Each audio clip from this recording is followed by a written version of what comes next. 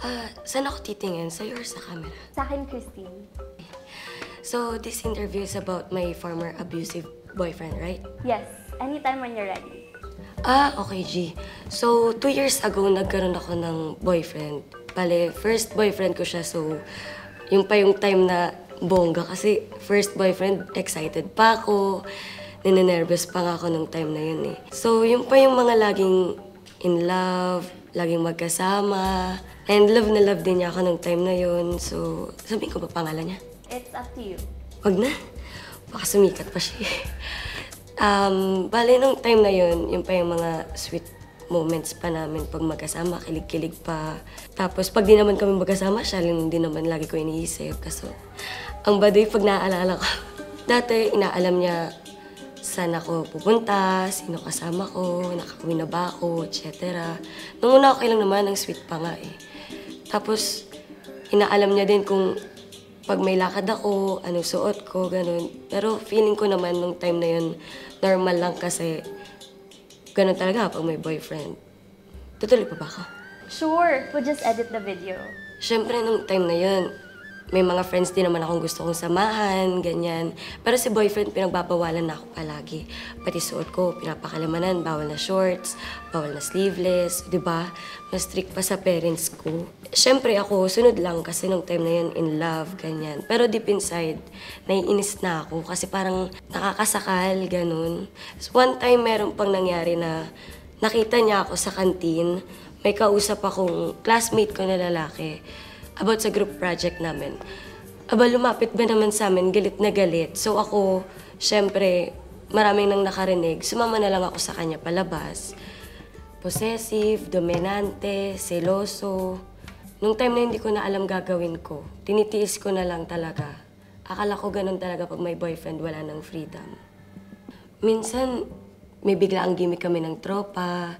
Di na ako nakapagpaalam sa kanya noon. Trinay lang namin yung bagong resto malapit sa school. Nagulat na lang ako, dumating siya. Hindi lang ako napagalitan sa harap ng friends ko. Hinatakpan niya ako palabas. E di ang laki ng pasa ko sa braso ko noon. Tinatago ko na lang sa long sleeves ko para di makita ng mami ko. Pero may one time nahuli niya ako.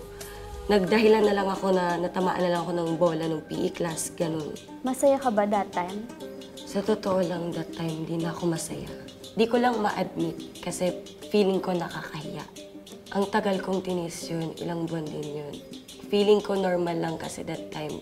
Kasi nga, ganun talaga pag may boyfriend. Paano mo nalagpasan yung lahat ng yun? Yung pagiging dominante niya, tiniis ko yun. Yung pagiging super possessive niya at seloso niya, tiniis ko pa rin yun. Pero yung nagsistart na siyang manakit. Imagine one time, binatukan pa niya ako. Doon ko na-realize na parang hindi na okay na tiis na lang ng tiis. Sabi ko sa sarili ko, tangang in love ako. Pathetic, no? Doon ko na-realize na going eight months ko siyang binibigyan ng chance to change. Wala pa rin. Puro lang siya sorry, puro lang siya promises. Enough is enough. I broke up with him and never looked back. Where did you get that courage to do so? After attending a uh, seminar about VAUSI, yung violence against women and children, dun ko na-realize na I don't deserve to be abused. I don't deserve to be treated like that. Actually, lahat ng babae di dapat inaabuso. How do you feel now? Uh, we broke up almost two years ago. Siyempre, for a while, broken-hearted ako. Pero lumipas din, and it's such a relief. And guess what? What? Three months ago, nagkaroon ako ng bagong boyfriend. This time, no more abuses. This time, di na ako tangang in love. In love na lang and love. O di ba, bongga?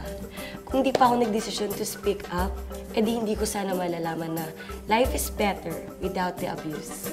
Thank you so much, Miss Christine. So much, Miss Welcome po. Christine. You. okay. Super helpful na ito sa team namin para sa research. Super thankful.